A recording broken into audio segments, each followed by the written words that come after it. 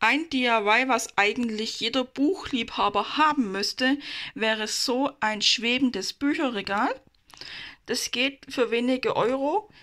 Ihr braucht einfach nur ein Buch, was ihr nicht mehr lesen möchtet. Sowas könnt ihr euch auch eventuell bei einem Bücherschrank holen und einen einfachen Winkel. Das befestigt ihr mit einem Kleber und den Winkel mit einer Schraube und Dübel an die Wand. Ein weiteres sehr einfaches DIY ist jetzt hier so ein Topfuntersetzer, beziehungsweise so ein Deko-Tablett Blumen, Schrägstrich Blumenuntersetzer. Ganz, geht ganz einfach mit ein paar so einfachen Easy Sticks und ein bisschen Holzleim und schon ist das Ganze fertig. Hier ist ein weiteres sehr einfaches DIY von mir. Ich habe das Regal hier, die kleine Bilderleiste aus drei Leistenhölzern selber gemacht und angemalt.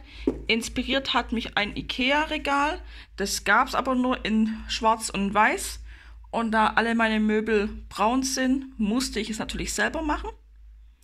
Und obendrauf stehen meine Puzzlebilder, wo ich mit einfachem Sperrbastelholz sozusagen und einem Puzzle gemacht habe. Beides auch sehr einfache DIYs.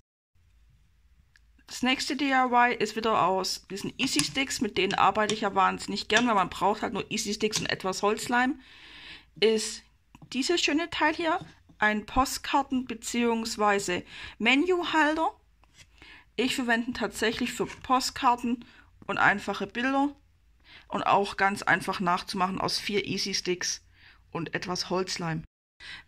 Was ganz ähnliches wie die Easy Sticks habe ich hier mal aus Lego-Bausteinen gebaut. Ist auch ein einfacher Halter für eine Postkarte. Warum aus Lego? Ähm, ich hatte die einfach übrig, die Steinchen.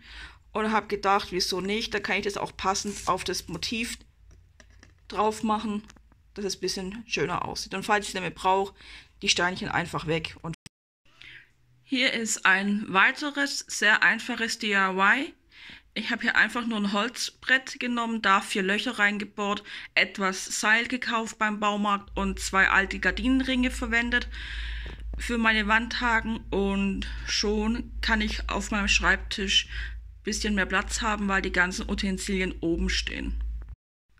Eines meiner allerersten DIYs war es hier meine alten U-Regale, die wo mal orange und rot waren aus meiner Jugendzeit umzulackieren. Man sieht es ein bisschen, ich habe hier ein paar Nasen drin, aber ich habe die einfach für meine eigene neue Wohnung umgestaltet und habe die taubenblau. Dieses DIY ist für alle Harry Potter Fans etwas. Dafür braucht ihr einfach einen eigenen Spiegel, einen flachen, bisschen Pappkarton in der Farbe Grau, ein Edding und einen schwarzen Pappkarton und schon könnt ihr eure eigene Zeitung machen. Ich glaube, dieses DIY kann man erraten, aus was ich das gemacht habe. Wieder meine lieben Easy Sticks und Holzleim. Mehr ist es nicht.